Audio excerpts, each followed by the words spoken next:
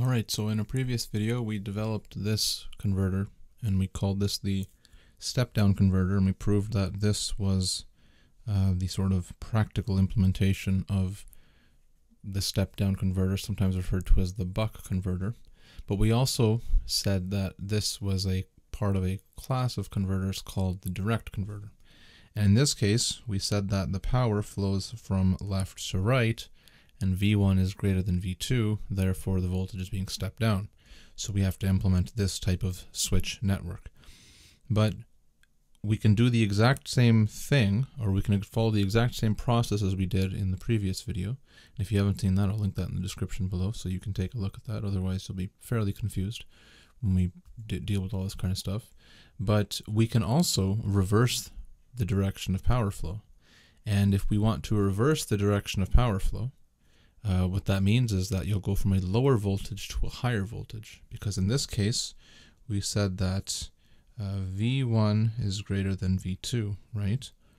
And so if V1 is greater than V2, that means, and the power is flowing from left to right, in this case, that means it's a step down. But if we want to go step up, then we want to go in the opposite direction, right? So we want to get rid of this, and we want to say that the power should go this way. Now, if the voltages are fixed, the way you go in the opposite direction, I mean, there's a couple of ways you can reverse the power flow. And the way to reverse the power flow is you either reverse the terminal currents or the voltages.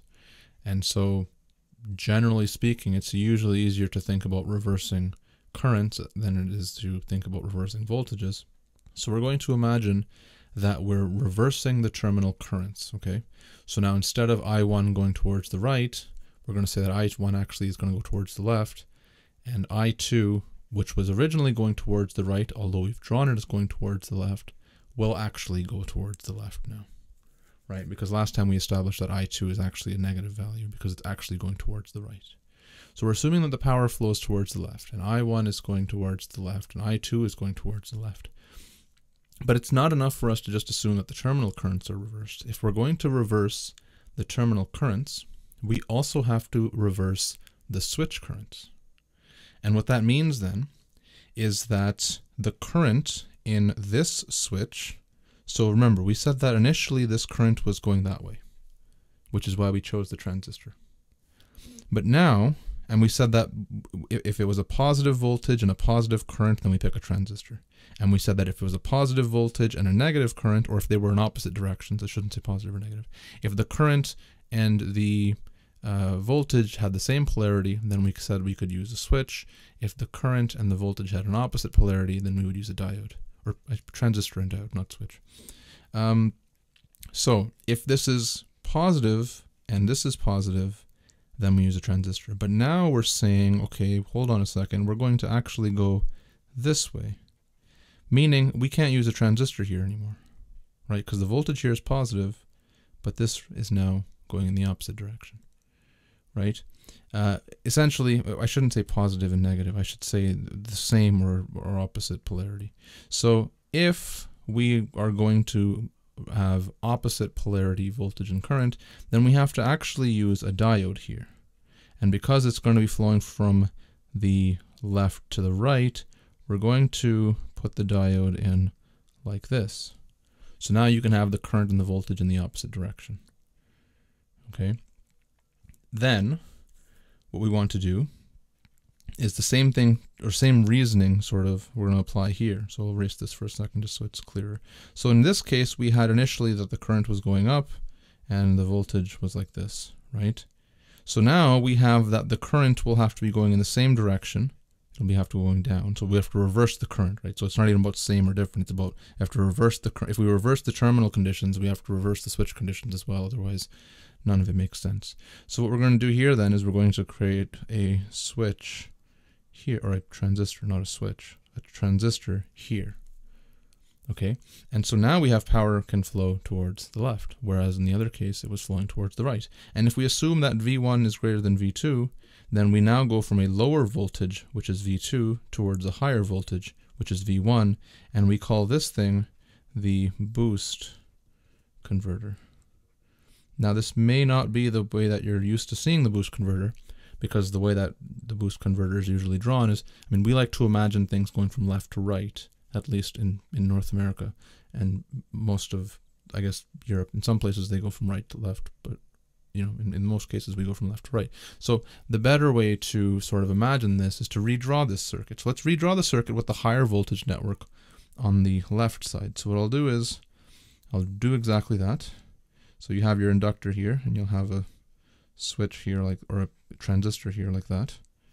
And this is now going to be your high side or your high voltage network. And the, the diode here will connect here to the capacitor and that will go to your sorry this is the lower voltage going to the higher voltage. My mistake. So and I'll keep these consistent. So I'll say this is V2 and I'll say this is V1 just so you can draw the parallel between what we've just done and and it'll be easier for you to understand that way. So this is L and you can label currents and stuff here as well if we want. So we'll call this I2 and we'll call this uh, I1 like so and we will say then that the power flows this way and in this case we say that V1 is greater than V2 still. So if you look at the comparison between these two, they're the exact same circuit, I've just flipped them. And so this is the one that, this is the version of the boost converter that you'll see in most literature. This one here is a sort of transition step to get from, um, well, we're reasoning that all of these are the, the same. Like we're arguing that the, the direct converter is the same, whether it's buck or boost, depending on the direction of power flow. So this is what we have here. So in in the other case, Uh, in this case here, we said that the duty ratio is taken as the series switch, right? That's more of a conceptual way of reasoning.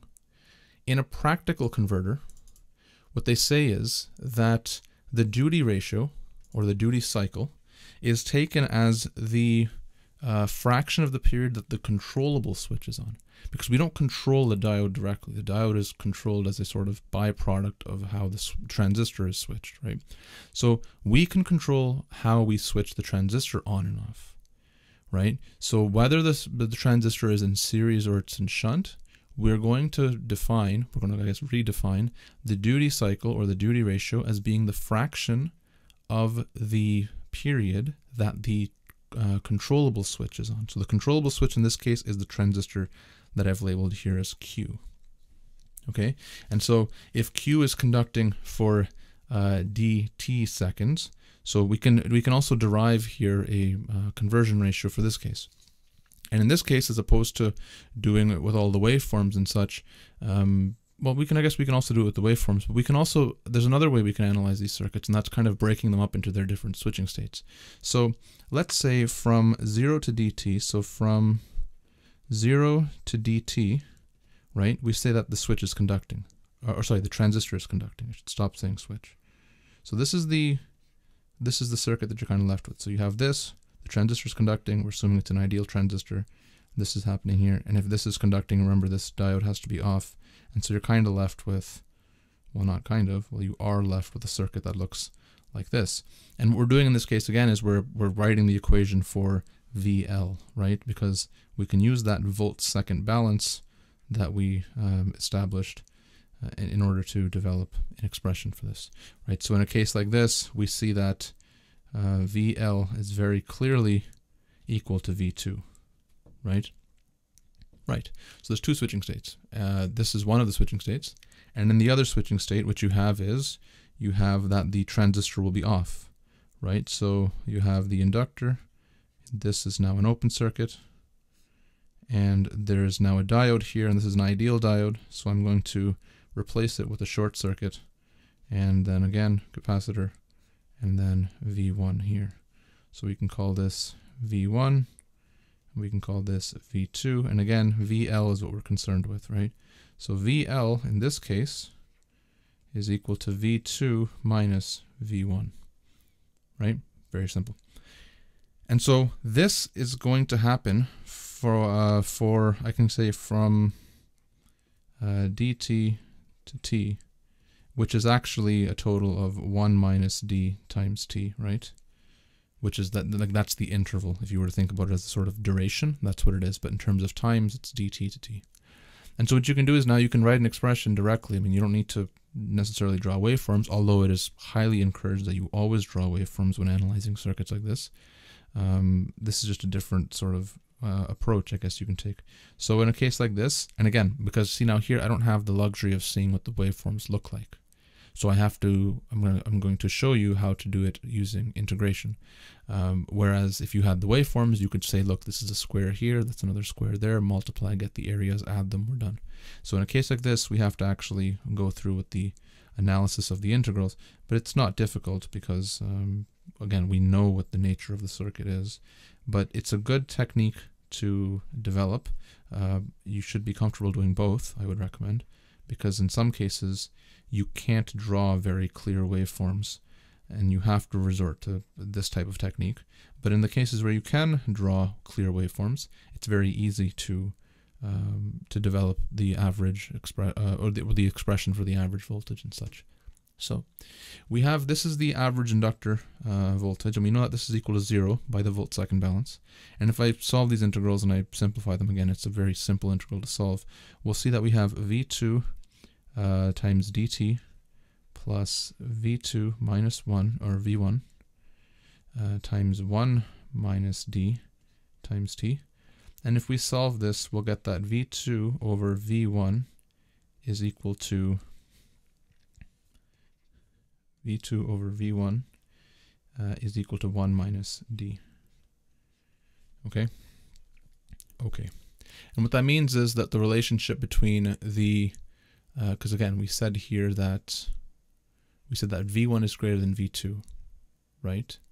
So if v1 is greater than v2, then the step that you get from v2 to v1 is going to be 1 minus d. So that's the ratio, sort of. So if, let's say, for example, let's say, for example, I mean, if we just look at this here, so we say, let's pick some like random numbers, I don't know, v1 greater than v2 is the condition that we want, right? So v1 is uh, 10 and V2 is 1, right? Then we know that V2 over V1 has to be equal to 1 minus D. And then based on that, we can develop what our duties ratio should be for that. So we have V2, uh, well, we said that this is V2. So V2 equals here, and then V1 equals here, right? So V2 over V1 is 1 over uh, 10. So 1 over 10 so let's say 1 over 10 is equal to 1 minus d, right? So then that means d should be 90%, or 0.9, however you want to take that. So you can use this expression to calculate whatever is required, and um, in a case like this, again, the, the main purpose here to, to, to, draw it this way and to show it this way is to show you that uh, these two are really, really part of the same thing. They're just, you've kind of flipped things around a little bit here and there. So to get from V2 to V1, you have a uh, you have this type of conversion ratio. So what's next? Uh, in the next part, what we want to do is we want to look at the current conversion ratio, and the current conversion ratio again is just I2 over I1 uh, over I1, and we know that this is going to be the inverse, uh, well, negative inverse of the voltage ratio. And so we know that this is what we kind of end up with. This is a sort of simple step that we do. Uh, and so here we can probably put a box here because this is the voltage conversion ratio. So what did we do? We took this established, uh, well, this isn't what we established, but we took an established buck converter and we flipped the, the, the direction of power by flipping the direction of the current. And we said that if we're going to flip the direction of the current, you have to flip the direction of the switches as well. So that's what we did here. Then we flipped the whole converter back the other way because we're, apparently we're just flipping everything these days. Um, and so we've flipped that from now to go from V2 to V1 uh, because, again, we like to think of things going from left to right. And so to accommodate that, we've done that here. So again, V1 is greater than V2. So V2 is the switch that we have, or sorry, V2 is the voltage that we have here.